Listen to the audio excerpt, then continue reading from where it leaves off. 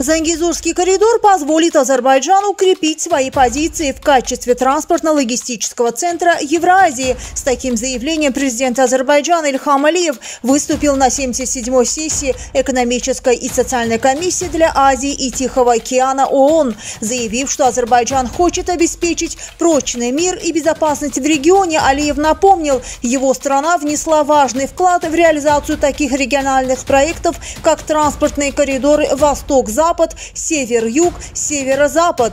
Сейчас мы работаем над Зангизурским транспортным коридором, который станет составной частью коридора Восток-Запад, соединяющего Азию с Европой через территорию Азербайджана. Этот коридор позволит усилить позиции Азербайджана как транспортного и логистического узла Евразии. Я приглашаю страны-партнеры из Азиатско-Тихоокеанского региона рассмотреть потенциал этого регионального проекта, сказал глава государства.